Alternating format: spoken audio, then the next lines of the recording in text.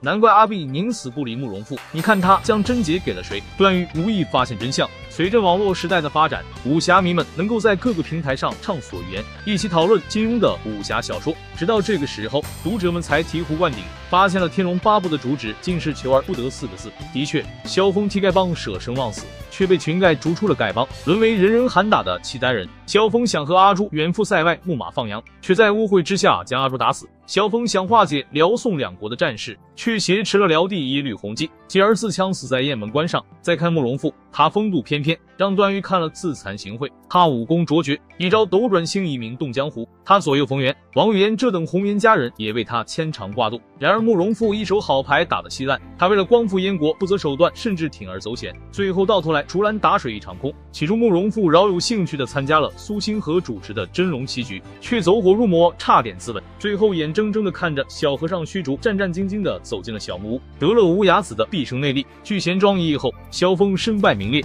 慕容复为了拉拢群雄，不惜在少山联合丁春秋、有坦之围剿萧峰。慕容复万万没有想到，自己先被暴怒的段誉施展六脉神剑射了个披头散发，后又被萧峰一抓一制，在群豪面前摔了一个狼狈不堪。幸好慕容博及时赶到，在他的鼓励下，慕容复重拾信心，参加了竞选西夏驸马的榜文招亲。慕容复再次始料未及的是，虚竹早和西夏公主在冰窖有了三日刻骨铭心的鱼水之欢。事事不顺的慕容复，最后将希望全部压在段延庆的身上。他不惜拜段延庆为义父，还杀了家臣包不同作为投名状。就在慕容复势在必得之时，段延庆却发现段誉才是自己的亲生儿子。另一边的王语嫣。早就和段誉在枯井里抱在了一起，他们二人耳鬓厮磨，不知说了多少肉麻情话。慕容复接连遭受挫折，终于崩溃，沦为一个喃喃自语的疯子。不过阿碧为何因此不理慕容复呢？在天龙的末尾，随着慕容博归，慕容复发疯，偌大的姑苏慕容就此树倒猢狲散。可即将返回大理继承王位的段誉却发现慕容复身边竟有阿碧相陪，以阿碧的姿色，他完全可以离开慕容复，找一个如意郎君，寻找自己下半生的幸福。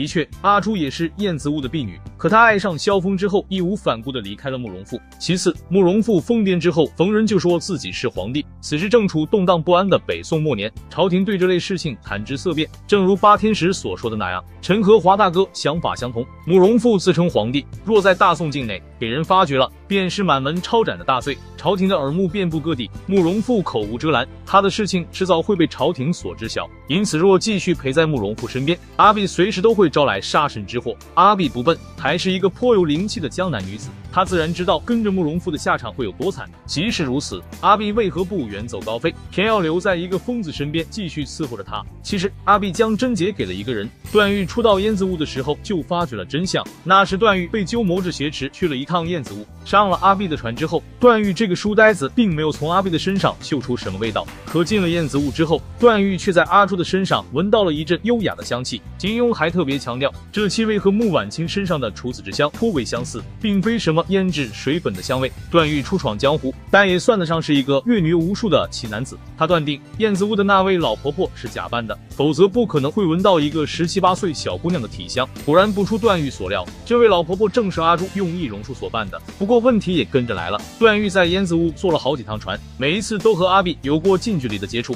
为何段誉没有闻到阿碧的处子之香？金庸的言外之意很明显，阿碧早就将贞洁交到了慕容复的手里，这样一来就能解释慕容复已是病入膏肓。但阿碧依旧不离不弃，只因阿碧是一个传统的女人，在她看来，慕容复是自己生命中的第一个男人，不管他成了什么模样，将来会怎样，总要一心一意的服侍他，照顾他。不得不佩服金庸撰写武侠小说的意境。阿碧的戏份少得可怜，但她身上竟隐藏了如此之大的谜团，着实让人意想不到。